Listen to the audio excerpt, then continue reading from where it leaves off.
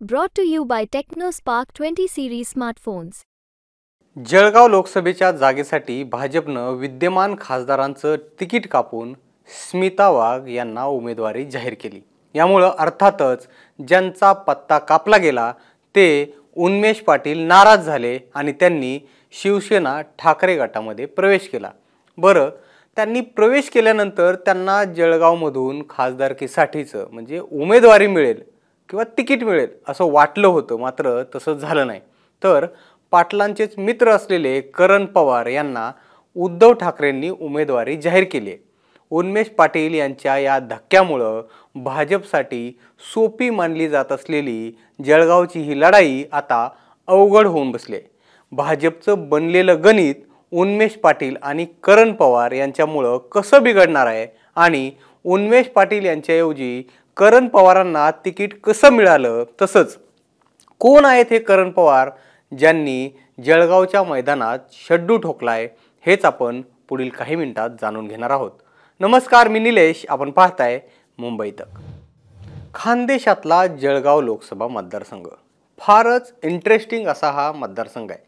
भाजपचा बालेकिल्ला असलेला हा मतदारसंघ पण प्रत्येक वेळी विद्यमान खासदारांना जाहीर केलेल्या उमेदवाराला धक्का देण्याचं भाजपचं धक्कातंत्र इथं फारच चर्चेत असतं. म्हणजे बघा दोन हजार एकोणीसमध्ये जळगाव लोकसभा मतदारसंघातून भाजपनं तत्कालीन खासदार असलेले ए टी पाटलांचा पत्ता कापला.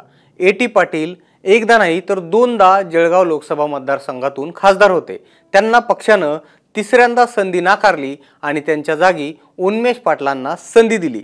इथं उन्मेष पाटलांच्याही आधी सध्याच्या जे जळगावमधून भाजपच्या उमेदवार आहेत स्मिता पाटील यांना तिकीट दिलं होतं. मात्र ते तिकीट जाहीर केल्यानंतर कापलं गेलं आणि उन्मेष पाटलांना तिथं संधी मिळाली. अर्थातच या संधीचं सोनं करत उन्मेष पाटील राष्ट्रवादीच्या गुलाबराव देवकरांचा पराभव करत विक्रमी मतांनी पराभव करत लोकसभेमध्ये पोहोचले.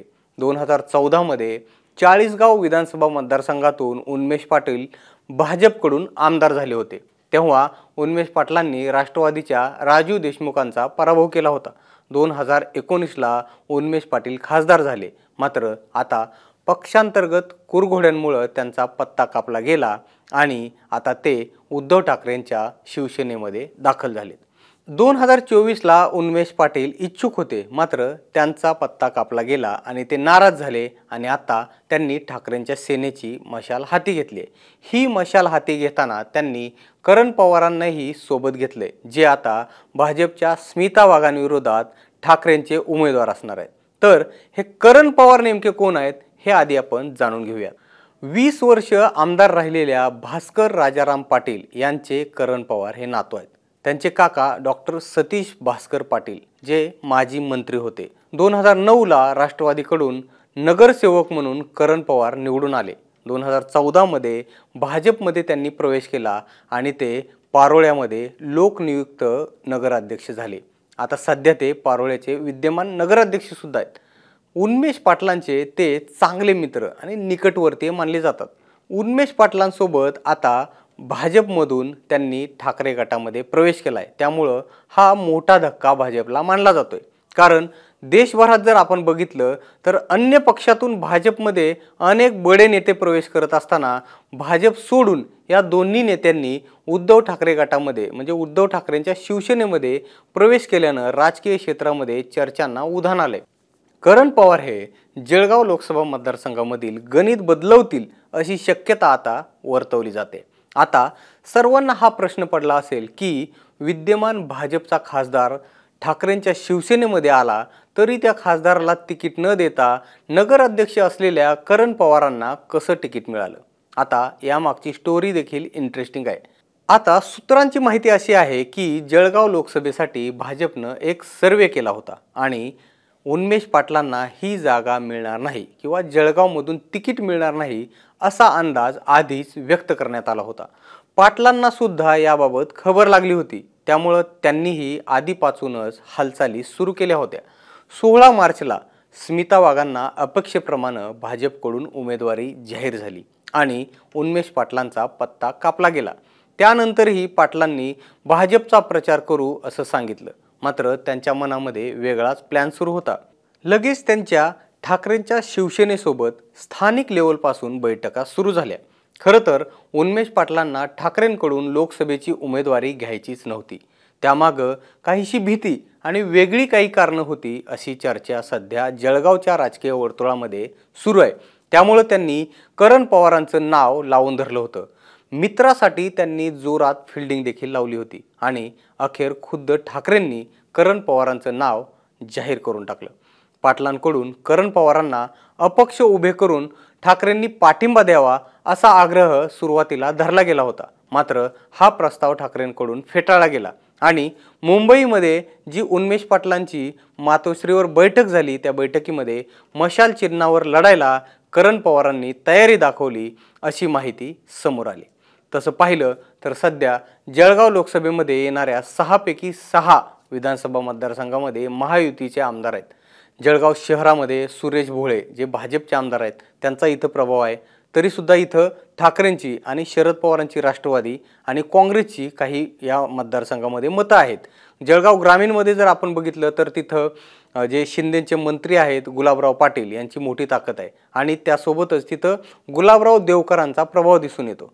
अमळनेरकडे जर आपण आलो तर अनिल पाटील जे अजितदादांच्या राष्ट्रवादीचे मंत्री आहेत ते त्यांची तिथं ताकद आहे.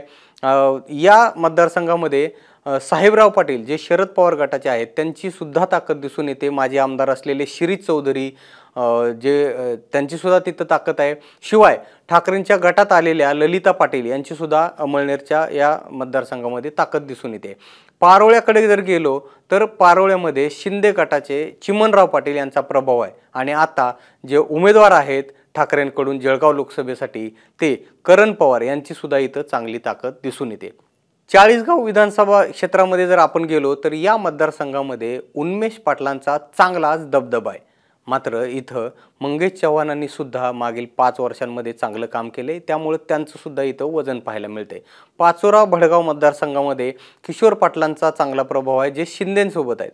आणि त्यांचा जरी प्रभाव असला तरी किशोर पाटलांच्या भगिनी असलेल्या वैशाली सूर्यवंशी यांनी ठाकरेंच्या बाजूनं आपला चांगलाच जम या मतदारसंघामध्ये बसवलेला दिसून येतोय.